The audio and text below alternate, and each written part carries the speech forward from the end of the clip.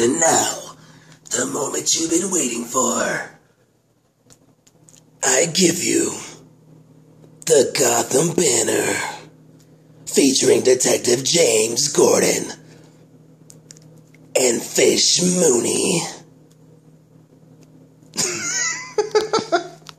Yeah, I gotta tell you, man. Um, for the price that I paid for this bad boy, I'm really impressed, man.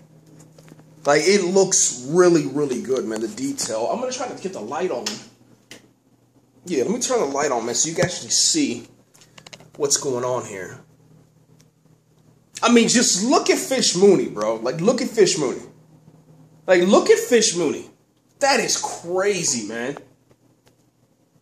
I mean, he looks good. It looks good. This is definitely going up. It's definitely going up, man. I love, I love this banner. I'm gonna try to get to the other ones. Gonna try to get the other ones, but it has to, you know, be the right one. Um, let's take a look at the next one.